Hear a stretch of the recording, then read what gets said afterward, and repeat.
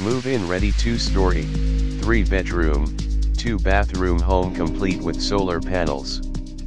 Living area, dining and kitchen on the first floor with 3 bedrooms, bonus, and utility room on the second level.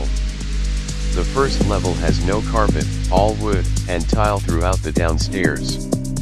Open kitchen with plenty of cabinetry and an island with breakfast bar. Did we mention solar panels? Check out the virtual tour and schedule a viewing today.